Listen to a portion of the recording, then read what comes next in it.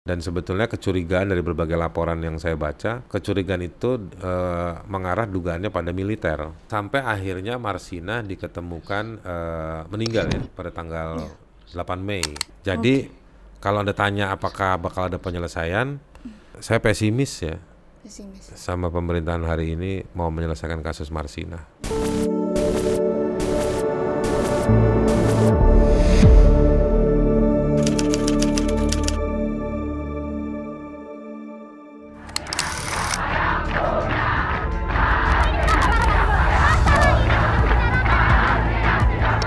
Pada 8 Mei 1993, Marsina ditemukan tewas terbunuh.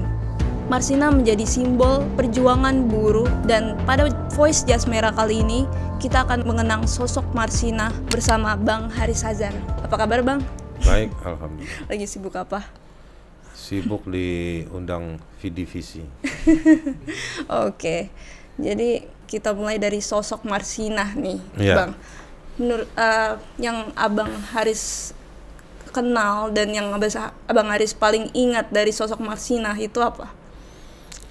Kalau saya kenal Marsina itu bukan secara langsung.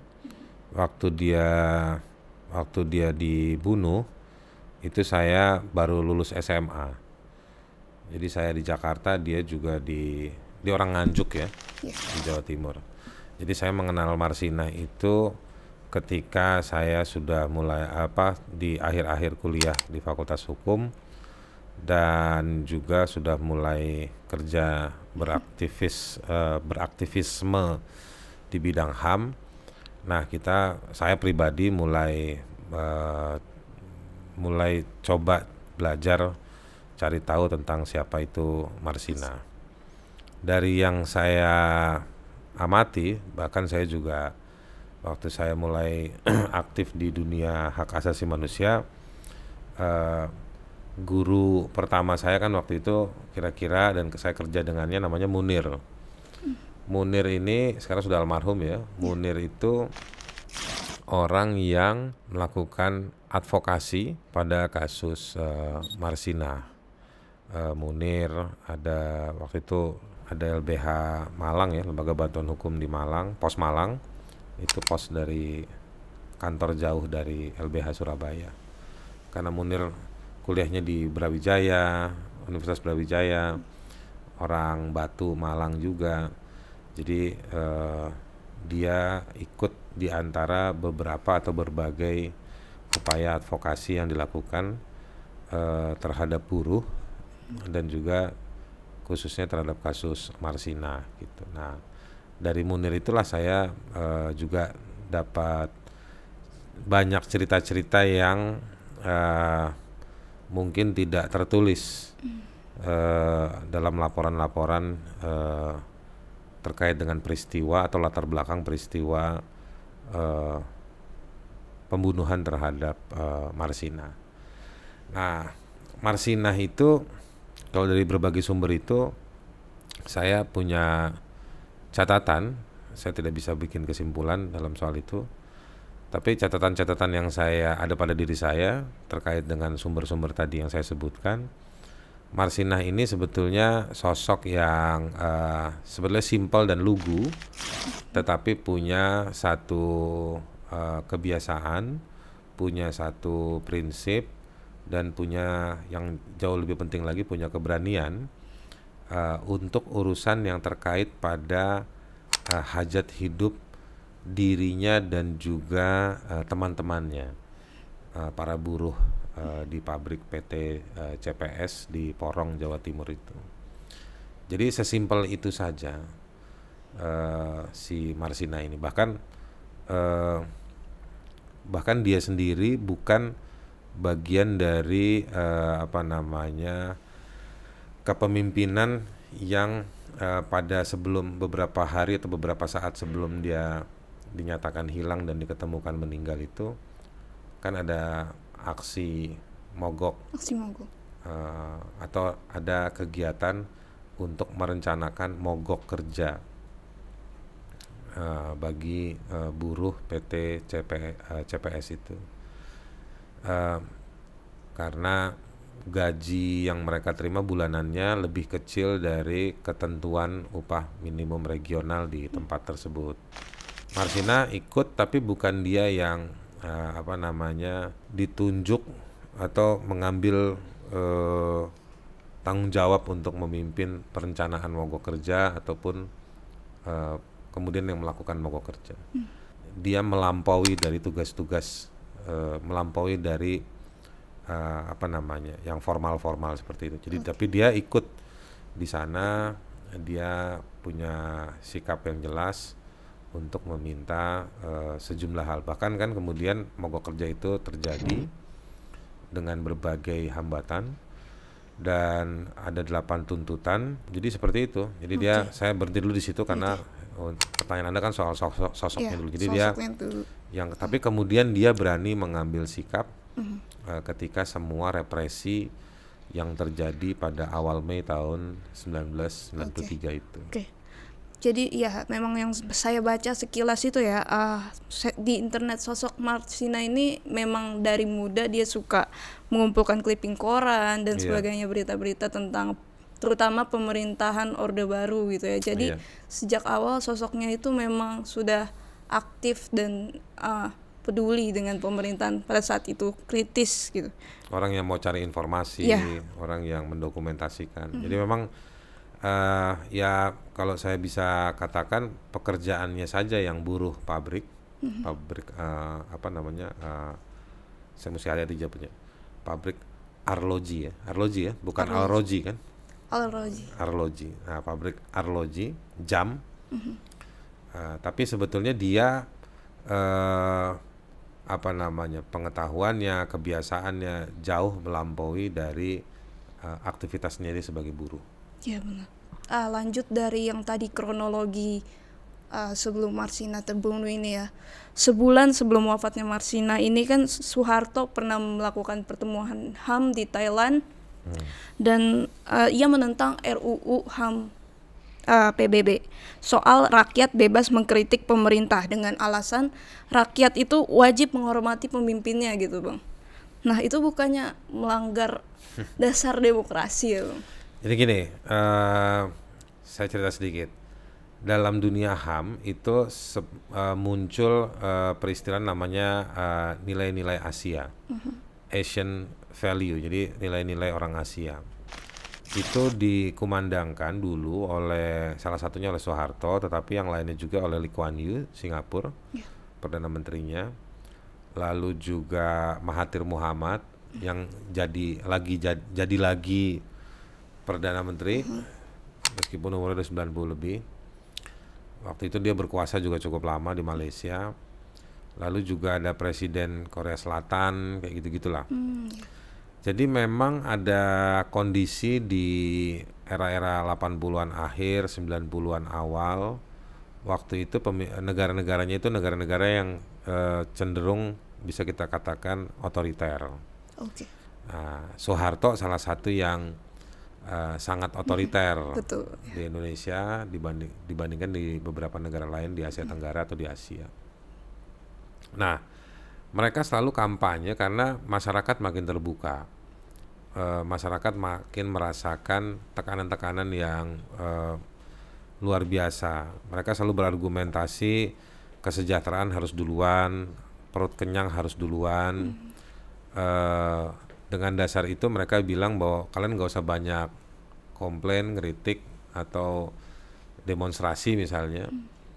Uh, karena kami sedang bekerja untuk mensejahterakan mereka. Tapi kan pada kenyataannya di negara-negara yang otoriter biasanya itu juga terjadi korupsi.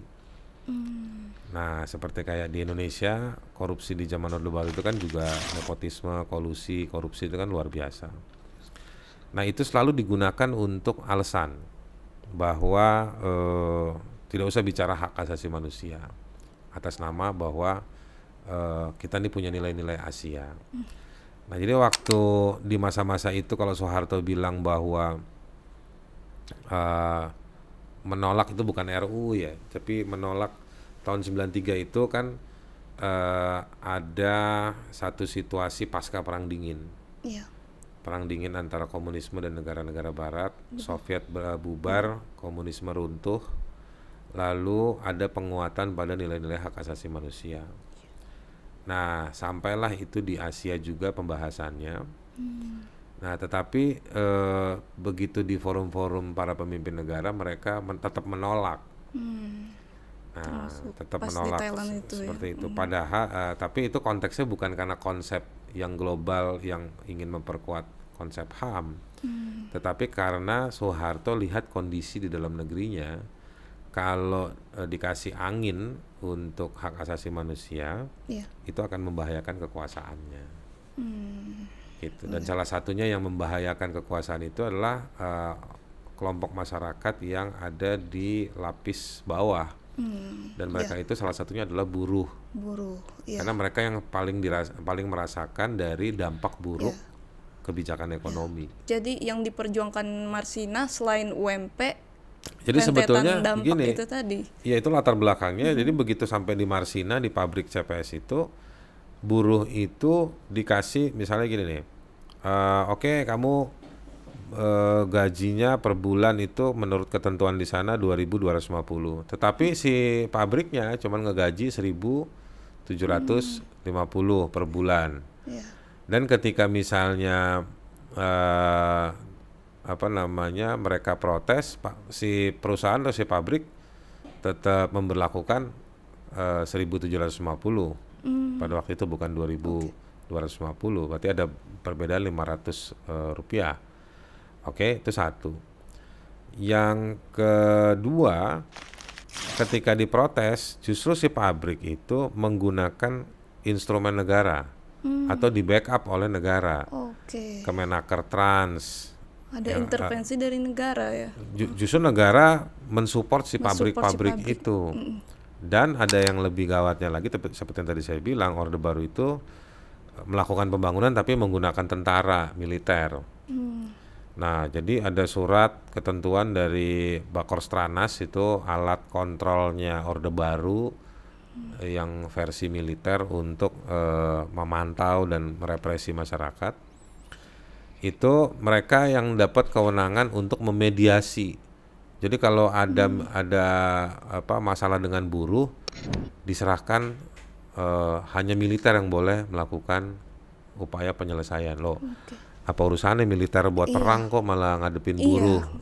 Apalagi buruh yang eh ya masalahnya kan masalah-masalah sosial ya, masalah ekonomi, soal gaji, soal cuti, Iya. soal tunjangan, soal hari libur, soal kesehatannya dan lain-lain. Nah, jadi itu diserahkan ke militer. Nah, itulah eh, bentuk-bentuk represi eh, yang terjadi di masa Orde Baru dengan setting kasus Marsina. Pada saat itu eh, kaum-kaum buruh ini sempat gak sih Bang mendapat eh, bantuan dari forum lembaga hukum? eh satu lagi yang saya mau tambahkan ya, bahkan serikat buruhnya aja itu dibikin tunggal hanya SPSI, Serikat Pekerja Seluruh Indonesia.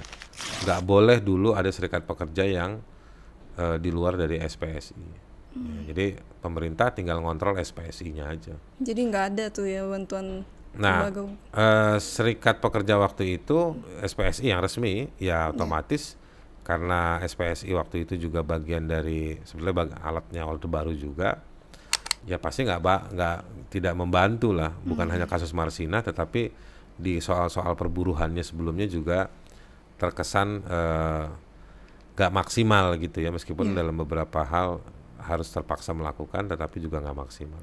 Oke, udah gitu. Kalau pertanyaan Anda bahwa apakah Marsina dan buruh pada waktu itu dibantu, dibantu. oleh Yang saya tahu misalnya LBH ya, Ya. eh, Lembaga Bantuan Hukum di bawah Yayasan Lembaga Bantuan Hukum Indonesia, oh dibantu LBH. dibantu oleh YLBHI atau LBH, mereka banyak melakukan eh, advokasi terhadap buruh di sejumlah kota. Di zaman Orde Baru tuh mereka dulu. Meskipun juga ada banyak organisasi-organisasi lain yang di lokal-lokal tertentu dan juga banyak eh, aktivis-aktivisnya yang juga dulu pernah di LBH misalnya ada Fauzi Abdullah atau Bang Oji itu ya. Itu orang yang salah satu yang sangat dedikatif, pinter, uh, mengadvokasi masalah-masalah buruh di Indonesia. Oke, puncaknya kan uh, adalah penculikan Marsina ya, hingga ditemukan uh, tewas pada Mei 1993. Boleh diceritakan lagi nggak secara detail, Bang Haris, uh, yeah. kronologinya gimana sih pada saat itu? Jadi uh, apa namanya Marsina ditemukan meninggal uh, lima hari ya setelah ada aksi yang rencananya tanggal 3 Mei. Yeah. Nah aksi tanggal 3 Mei itu aksi mogok itu karena tadi ada salah satunya ada upah yang berjarak mm-hmm. nominalnya dengan ketentuan. Yeah. Nah karena ada ketentuan yang berjarak tadi itu yang beda maka buruh ini protes gitu. Nah, ketika mereka mempersiapkan untuk protes tadi itu, mereka sudah diganggu, dipanggil uh, sejumlah pimpinan buruh di PT uh, eh, CPS tadi itu di yeah. Porong itu. Itu sudah ada yang dipanggil, dipanggil oleh uh, apa namanya uh, militer uh, setempat. Uh, ditanya kenapa dan diminta untuk uh, diminta untuk uh, membatalkan aksi tersebut atau upaya tersebut bahkan ada tekanan-tekanan eh, sampai ada yang di PHK juga hmm. gitu nah proses itu tetap tidak menghentikan buruh untuk aksi meskipun tanggal tiganya itu ketika uh, sejumlah pimpinan dan juga karyawan berapa ratus orang itu mau aksi terganggu terutama para pimpinannya karena dipanggil-panggil terus jadi situasinya sangat genting lah oh. kalau saya imajinasikan saya coba simulasikan dalam hmm. pikiran saya membaca kronologis kronologisnya cukup genting situasi waktu itu tetapi ada ke, uh, beberapa hari kemudian tetap dilaku uh, keesokan harinya tetap dilakukan uh, aksi mogok hmm. tetapi pasca aksi mogok dipanggil lagi para pimpinan-pimpinannya oh. dan ada tekanan-tekanan sampai tadi ada yang di PHK tadi itu oh, yeah. nah di situlah Marsina muncul kemudian di situlah Marsina muncul uh, apa namanya karena orang-orang yang dipanggil itu juga mengalami intimidasi. Hmm. Jadi Marsina itu menyimbolkan solidaritas ya. Jadi kalau anda hmm. lihat buruh ini sekarang sering melakukan aksi solidaritas, pasti ada Marsina. Sal salah satunya itu ya saya mau bilang bahwa semangat solidaritas itu memang jadi identitas di dalam buruh. Nah, Marsina muncul di sana. Jadi ketika para pimpinan-pimpinan, jadi eh, bisa dibilang begini nih, satu tumbang sepuluh tumbuh sebagai hmm. berani mengambil kepemimpinan. Nah Marsina di sana dia, hmm. karena dia sudah teredukasi, dia rajin baca, dia kritis, hmm, dia tahu ada yang nggak beres, ya kan. Hmm. Meskipun dia tidak diminta menjadi pemimpin di pada aksi-aksi apa pada persiapan maupun pada aksi, tapi kemudian ketika krisis terjadi dia muncul ke sana. Hmm. Dia salah satu orang eh, di antara buruh yang lain yang mengatakan bahwa ini nggak benar dan harus diselesaikan dengan cara yang lebih tinggi lagi kira-kira kayak gitu ya. ya. Nah, uh, sikapnya dia dan tindakannya dia itu yang kemudian justru uh, memunculkan kekhawatiran. Hmm. Uh, dan sebetulnya kecurigaan dari berbagai laporan yang saya baca, kecurigaan itu uh, mengarah dugaannya pada militer, kantor-kantor uh, militer di uh, sekitar lokasi uh, atau yang punya kaitan dengan uh, PT CPS tadi itu. Nah, uh, sampai akhirnya Marsina diketemukan uh, meninggal ya pada tanggal ya. 8 Mei. Ya, 8 Mei 8 tahun 93 itu. Nah, ketika dia meninggal uh, lalu uh, ada dua hal yang ingin saya sampaikan bagaimana meninggal jadi uh, serangan fisiknya itu terjadi pada sekitar alat uh, vitalnya hmm. Marsina. Ya. Laporan-laporan forensik uh, yang uh, yang muncul menyebutkan bahwa ada kerusakan. Saya tidak paham, hmm. uh, uh, saya tidak berani ya me ya. me menggambarkan, tapi kerusakan pada sekitar alat vitalnya cukup parah uh, sampai yang sangat fundamental sekali. Ya uh, itu menunjukkan bahwa ada praktek keji gitu hmm. ya kan yeah. nah sebelum saya lanjutkan kematian Marsina kemudian dipersalahkan kepada uh, sembilan orang saya Yudi Susanto pemilik dan direktur PT CPS pada tanggal 1 Oktober 1993 saya dibawa oleh petugas di sana saya disuruh mengaku merencanakan membunuh Marsina Sembilan orang itu dari kemudian entitas ditangkap oleh dari entitas militer. eh, perusahaan. Jadi Hmm, iya. eh, kira-kira ingin dikatakan kalianlah yang melakukan kekejaman terhadap Marsinah itu, yaitu satpam dan juga eh, delapan pimpinan apa namanya eh, pejabat struktural ya, orang-orang yang punya jabatan di iya. dalam di dalam perusahaan. Oke, berarti sembilan orang dari PT CPS itu waktu itu bukan hanya eh, disuruh mengakui Di- mereka diminta mengakui Oh, dengan cara diminta- disiksa. mengakui kalau fisik. mereka yang bertanggung jawab atas Iya, pembunuhan jadi. Eh, jadi ada rentetan bahwa aksi mogok ke para buruh berujung eh, salah satunya pada Marsinah meninggal. Dan Marsinah meninggal itu kemudian eh, dipersalahkan kepada si orang-orang PT CPS tadi. Apa benar bu- barang buktinya dipalsukan juga ya? barang buktinya dipalsukan dan mereka diminta untuk eh, mengakui kan. Dan ketika di persidangan banyak kejanggalan-kejanggalan yang eh, apa namanya yang menunjukkan bahwa ya bukan mereka pelakunya intinya seperti itu. Nah, untungnya sampai proses di Mahkamah Agung semua itu akhirnya terbebas, mereka tidak dibebankan sebagai penanggung jawab tapi mereka eh, tidak dibebankan sebagai pelaku pembu- pembunuhan Marsina, tetapi mereka sudah jadi korban juga Ya. dari eh, aparat militer yang me- yang menyiksa mereka dan sampai sekarang proses penyiksaan tersebut Diusut gitu. terhadap sembilan orang dan juga terhadap pembunuhan Marsina nggak pernah diungkap. Jadi kan mereka udah bebas nih. Jadi sekarang siapa pembunuhnya? Iya. Nah muncullah orang namanya Munim Idris yang juga membantu pembebasan karena keterangan eh, karena ilmu dan pengetahuannya. Munim Idris ini adalah ahli forensik. Eh, Munim Idris kemudian menceritakan eh, dia mengidentifikasi eh, mengidentifikasi eh, apa namanya kerusakan fisik dari kegiatan visum et repertum itu. Visum itu artinya memeriksa ya Iya. kegiatan akademik kedokteran eh, langsung pada tubuh untuk memeriksa eh, luka dan kemudian menyimpulkan kira-kira ini eh, apa namanya penyebabnya apa.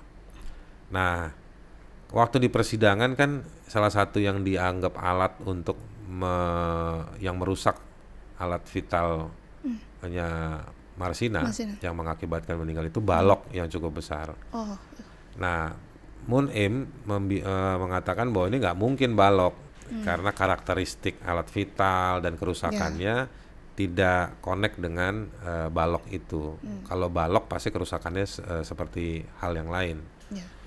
Nah, kesimpulannya Moon Im itu kemudian eh, mengarah mengatakan bahwa ini eh, besar kemungkinan adalah senjata api Senjata api. yang digunakan untuk eh, membunuh Marsina lewat alat vitalnya. Karena eh, ya karena soal ciri-ciri fisiknya kemungkinan yang bisa terjadinya kira-kira seperti itu. Nah, itulah kemudian yang juga menjadi eh, argumentasi menguatkan bahwa sembilan orang itu dipaksa dipaksa. mengakui kejahatan yang bukan mereka lakukan. Iya. Berarti Bang ah, militer eh, eh, Kodam atau tentaranya yang menangkap mereka itu diusut gak sih? Sampai hari ini tidak pernah ada upaya menurut saya ini kasus pelanggaran HAM yang berat ya. Yang patut diselesaikan oleh negara. Ini hutang negara siapa pun yang berkuasa, saya pikir kasus Marsina adalah hutang besar, eh, hutang kemanusiaan. Jadi bangsa ini kalau mau dibilang bangsa yang beradab, kan kita kan suka ngomong gitu ini bangsa-bangsa yang beradab. Iya. Caranya cara menguji bangsa itu beradab atau tidak adalah ketika ada sesuatu yang tidak beradab diselesaikan atau tidak. Ya, betul. Gitu. Nah, dalam kasus Marsina perlu dicari tahu eh, anggota-anggota militer waktu itu yang melakukan eh, kekerasan, tekanan, intimidasi terhadap eh, buruh yang ingin melakukan mogok, yang melakukan pembunuhan terhadap Marsina dan juga eh, apa namanya penyiksaan terhadap sembilan orang eh, itu harus diungkap fakta-fakta itu, dicari pelakunya eh, dan dihukum. Benar. Nah, eh, sampai saat ini siapakah sih sekiranya yang dicurigai menjadi dalang dari pembunuhan Marsina, Bang Haris? Menurut saya begini ya, kalau lihat dari konstruksinya, ini ada ada si perusahaan dan juga ada apa namanya aparat-aparat yang di bawah Kodam eh, yang di Jawa Timur itu. Ya, tentunya. Nah, jadi orang-orang di Kodam yang pada waktu itu dan juga di perusahaan, terutama bos-bosnya perusahaan, ini yang harusnya dimintakan pertanggungjawaban. Kalau dari konstruksinya sebenarnya nggak susah. Iya. Eh, yang terlibat udah jelas Eh, karena ada kewenangan tadi itu ya, ada surat-surat dari militer dan juga Kementerian Tenaga Kerja yang menunjuk militer sebagai penanggung jawab untuk menyelesaikan dan itu dari fakta-fakta itu jadi jelas mereka dipanggil-panggil oleh kantor-kantor militer tadi itu. eh dan juga si pihak perusahaan kan yang ya pasti kan untuk kolabornya di sana. Ya. Nah, ini dua institusi ini orang-orangnya, pimpinannya dan orang-orangnya harus dimintakan pertanggungjawaban. Katanya kan juga pemerintah eh, berjanji untuk menuntaskan kasus Marsina tuh, Bang Iya. Haris. Eh, Sudah ada follow up belum nih Siapa pemerintahnya? pemerintah sekarang? Ah, eh, saya nggak pernah dengar ya. Jadi memang, eh, tapi juga kalau ngeliat karakter pemerintahan hari ini kan ya pemerintahan yang ngesahin omnibus, omnibus kan itu kan isinya banyak hal yang sangat merugikan pada kelompok buruh. Jadi kalau anda tanya apakah bakal ada penyelesaian, eh saya pesimis ya Pesimis. sama pemerintahan hari ini mau menyelesaikan kasus Marsina. Oke. Nah, kalau misalnya dalangnya sekiranya pembunuh Marsina ini udah meninggal, yang harus bertanggung jawab siapa, Bang? Dalam konsep penyelesaian kasus pelanggaran HAM pertama harus diungkap faktanya dulu. Bahwa hari ini kita banyak dapat fakta dan bisa tahu kasus Marsina itu kan karena jasa-jasa para kuasa hukum, lawyer atau kelompok-kelompok yang melakukan advokasi seperti LBH, Ya. seperti Kasum. Kasum ya, eh, Komite Solidaritas untuk eh, Marsina.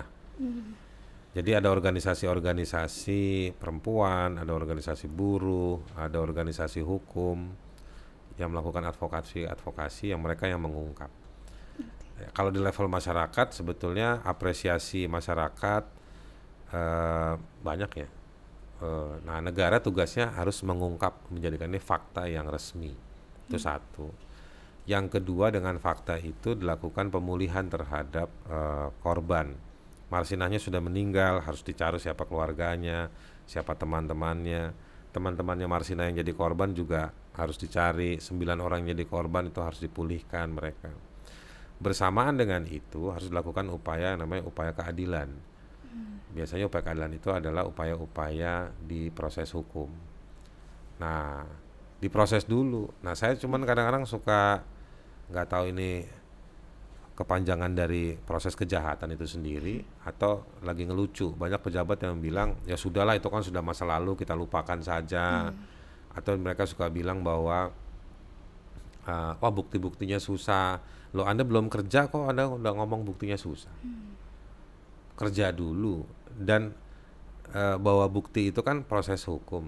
Barangkali dengan upaya-upaya lain fakta itu bisa terkuak misalnya dengan metodologi ilmu sejarah. Eh, se- ilmu sejarah itu kan sebenarnya membantu orang untuk merangkai faktanya seperti apa. Nah, nanti diukur apakah itu bisa dibawa ke proses hukum atau tidak, bisa jadi bukti atau tidak. Intinya harus ada proses hukum. Kalau Anda tidak melakukan proses hukum terhadap kejahatan seperti ini, maka nanti kita sebagai bangsa terbiasa Oke, iya. gitu dengan kejahatan-kejahatan seperti ini. Ya. Maka nanti semua tinggal deg-degan, siapa nih yang jadi korban? Apakah kita mau hidup di negeri katanya ini negeri kita tapi kok kita malah deg-degan? Ya. Nah, itulah harus diusut dan tidak boleh dilupakan ya. Makanya saya mengucapkan terima kasih kepada VDVC. Jas merah. Jangan sekali-sekali melupakan sejarah. Sejarah. Ya. Soekarno. Soekarno.